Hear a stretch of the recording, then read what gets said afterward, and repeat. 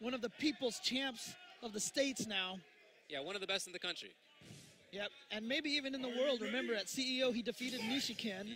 Sure. coming out here from Japan, and then he just defeated Pepeday earlier in the weekend.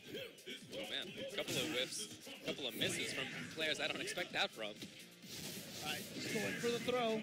He's got to keep this momentum going. You can't let Dudley get the offense started, but here it goes.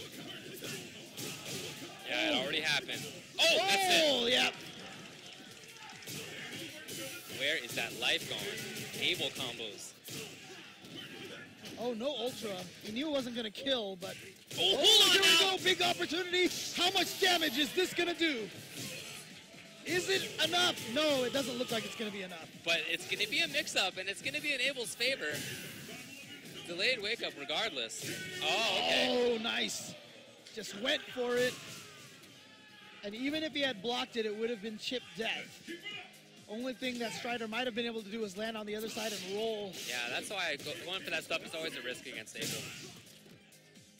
But you can see how brutal Smug can be once he gets you once.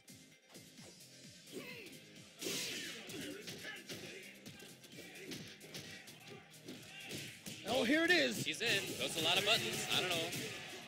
Apparently that works. All right. Oh, using that- The rose is there to keep them in place, but Strider got away from it with the roll. Oh, could have whiff punished. Could have got something there, but no, Smug gets away. And now it's all Smug. And already, the two players from Utah, one of them has gone down already.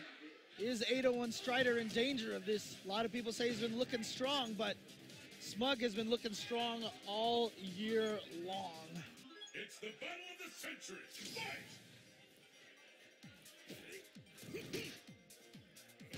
Smug really knows when to act. I think that's one of the best things about him. When to walk forward and block, when to press buttons. There's the timing there that a lot of people don't have. He has a very strong understanding of momentum and pace.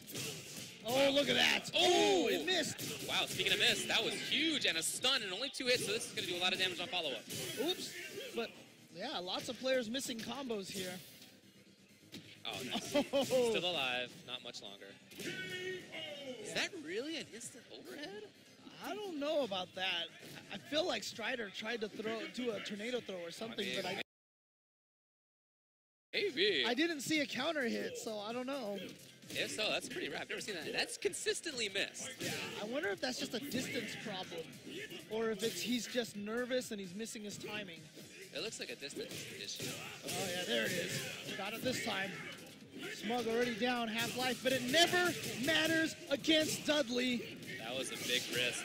Oh, using the armor to avoid that wake up mix up. Nice EX. Falling Sky. Oh, he wants to get away so badly. That was max range forward roundhouse. Now we got the corner. Oh, wow, using the short Oh, signal, and he gets the stun, and that's gonna be it. Smug is gonna take it over Gustavo. Yep. Good stuff to Smug. He moves into top eight. So the last remaining winners top 16 match comes up now. It's NuckleDu and KBrad.